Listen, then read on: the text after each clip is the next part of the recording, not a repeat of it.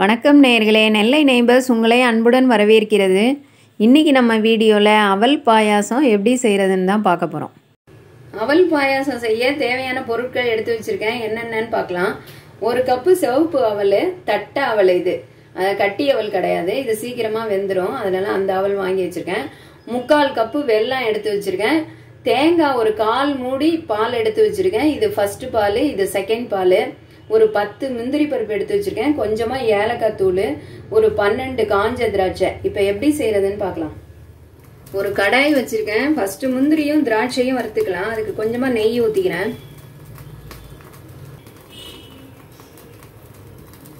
First முந்திரி போட்டு வறுத்துக்கலாம்.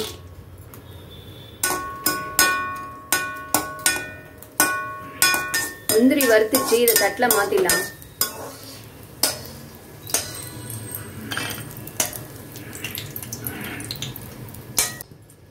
திராட்சை போட்டுடலாம்.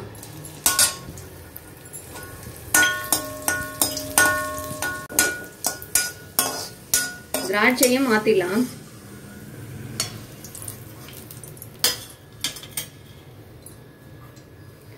அதே கடாயில அவலை போட்டு வறுத்துடலாம்.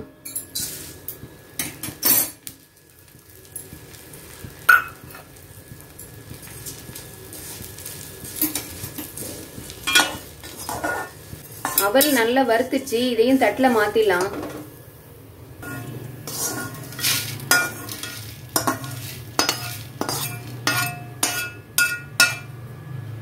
அதே கடாயில கொஞ்சமா தண்ணி ஊத்திட்டு வெள்ளத்தை கரைச்சிக்கலாம்.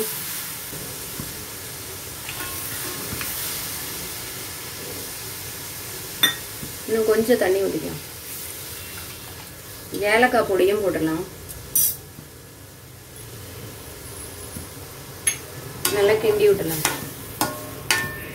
இது நல்லா கரையட்டும்.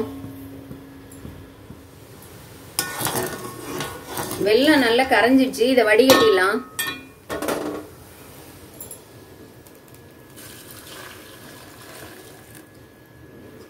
அதே கடாயில வடிகட்டின வெள்ளப்பாக ஊத்திடலாம்.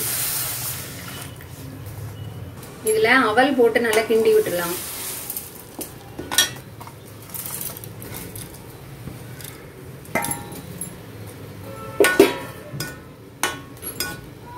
இது கொஞ்சம் வேகட்டும்.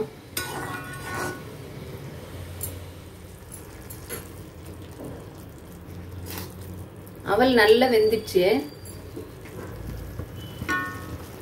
இப்போ செகண்ட் பாலை ஊத்திடலாம் தேங்காய் பால்.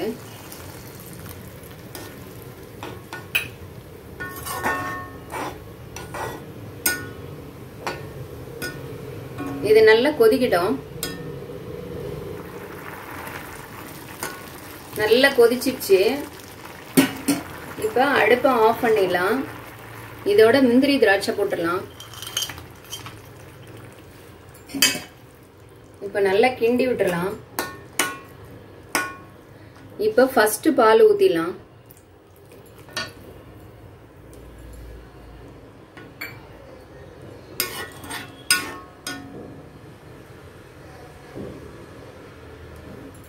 நம்ம அவல் பாயாசம் சூப்பராக ரெடி ஆயிடுச்சு.